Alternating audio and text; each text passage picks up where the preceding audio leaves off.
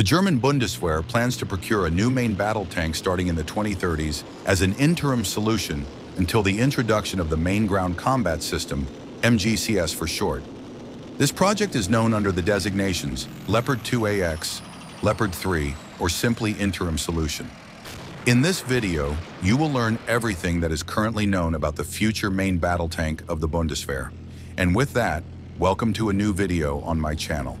If you want to stay up to date on security and defense policy, feel free to subscribe to my channel so you don't miss any of my future videos. Let's get started.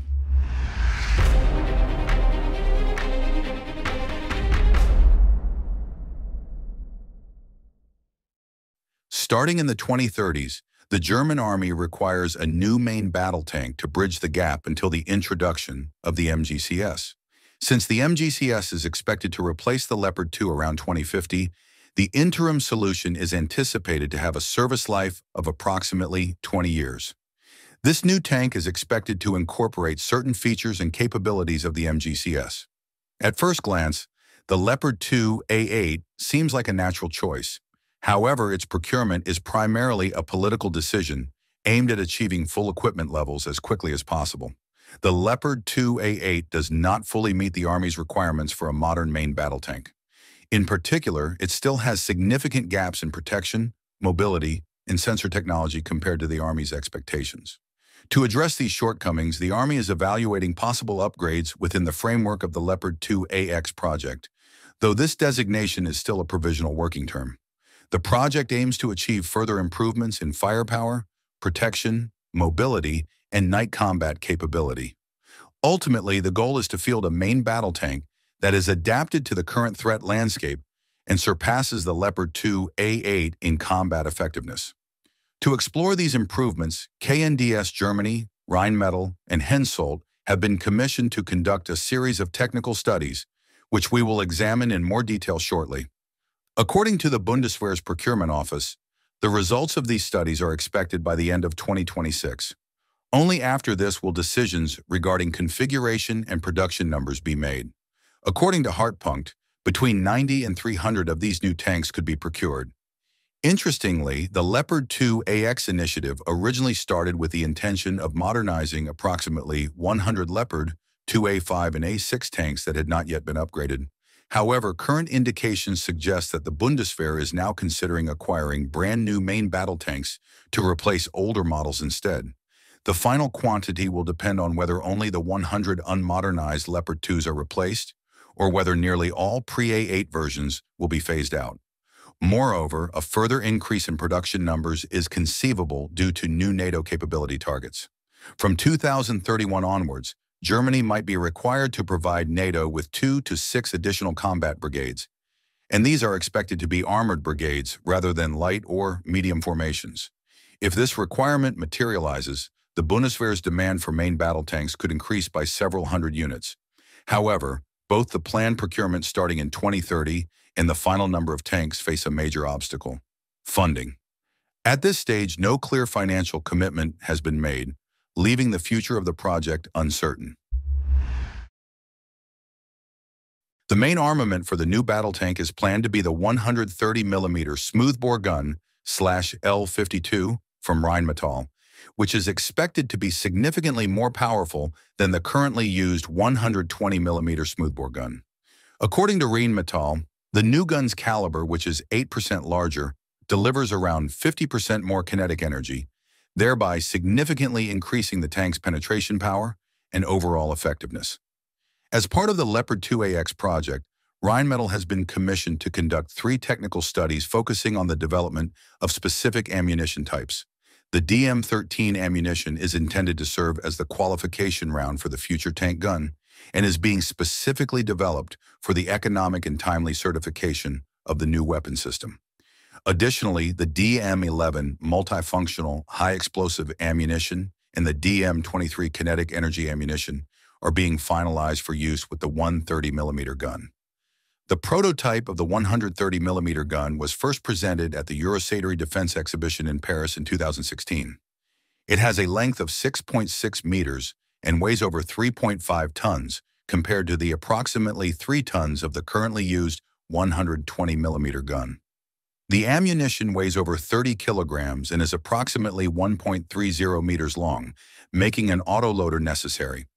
This requirement leads to structural modifications to the tank's turret and hull, further increasing development and integration efforts, as reported by Hartpunkt. Additionally, KNDS Germany and Hensoldt have each been tasked with a technical study for the development of an automatic field calibration system. Currently, the Leopard 2 relies on manual field calibration performed by the gunner to compensate for thermal effects such as sun exposure or barrel stress. An automated calibration system would reduce crew workload, shorten calibration time, and ensure consistently high precision. Another key consideration for the tank's armament is the integration of a remote-controlled weapon station. This station could be equipped with a heavy machine gun or an automatic grenade launcher intended for use against lightly armored vehicles, enemy infantry, and especially drones. However, to counter drones effectively, the necessary sensor systems for drone detection would need to be integrated. The protection level of the Leopard 2AX is also set to be significantly improved compared to older versions. One of the key enhancements is the Multifunctional Self-Protection System 2.0, MUSS 2.0 for short, an advanced version of the MUSS system, which will be introduced with the second batch of Puma infantry fighting vehicles. MUSS 2.0 was first unveiled at the Eurosatory Defense Exhibition in the summer of 2024 and features reduced weight, a smaller silhouette, and enhanced capabilities. The system includes four passive sensor heads with missile and laser warning sensors, a central control unit, an advanced infrared jammer, and a countermeasure unit. According to the manufacturer, MUSS 2.0 is capable of detecting anti-tank guided missiles, tracer rounds, rocket-propelled grenades, muzzle flashes, and kinetic energy rounds. Additionally, it can precisely identify and classify low-power lasers used in beam riding guidance systems and laser rangefinders.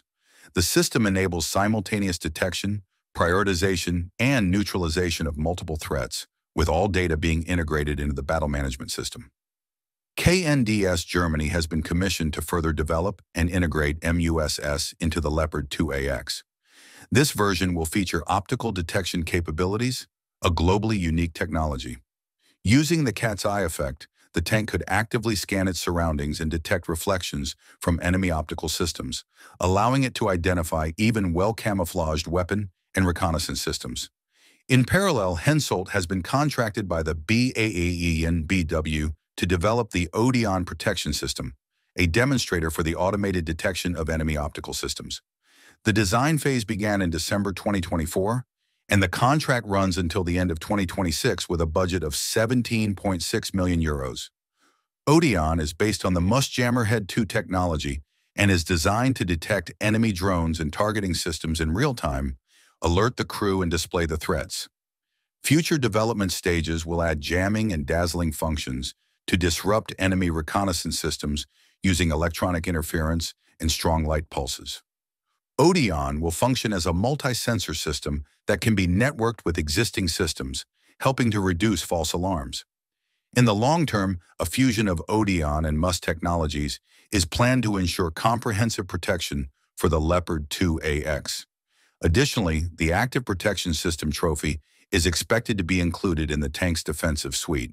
To enhance the mobility of the Leopard 2AX KNDS, Germany has been commissioned to develop a new engine called OLYMP. Unlike previous Leopard 2 engines, which were produced by MTU, this engine is being developed by Liebherr, a first for the company, as Liebherr has only previously supplied engines for infantry fighting vehicles and never for a main battle tank.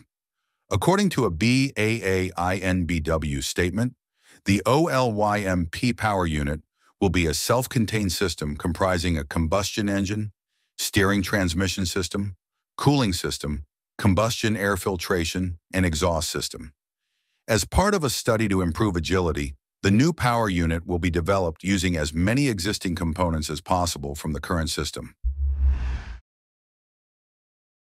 If all technical studies are successfully completed and the Bundeswehr decides to implement all the proposed new capabilities, the new main battle tank would fundamentally differ from the current Leopard 2. Whether the future tank will be designated as Leopard 2AX or Leopard 3 will largely depend on its final configuration. As mentioned earlier, this new tank is intended to serve as an interim solution until the introduction of the German-French MGCS.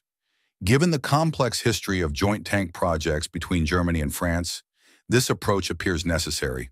Previous attempts, such as the Standard Panzer and the Kampfpanzer 90 program, failed due to differing defense policies and tactical requirements, ultimately leading to national solutions. Furthermore, budget constraints in the past have often turned interim solutions into long-term fixtures. Although history does not necessarily have to repeat itself, doubts remain about the successful completion of this third attempt of a German-French tank development. Many voices from politics, the armed forces, and procurement organizations express skepticism about the MGCS project, which is primarily being pushed forward at the highest political level, not necessarily out of strong belief in its success, but rather out of concern that abandoning it could further strain the already tense relationship with France. That concludes the overview of the Bundeswehr's future main battle tank. If you enjoyed it, please give it a thumbs up and subscribe to my channel so you can stay up to date on security and defense policy in the future. A big thank you to Moritz, who will undoubtedly do a great job editing this video again. And thank you to all of you for watching. Hopefully, see you next time.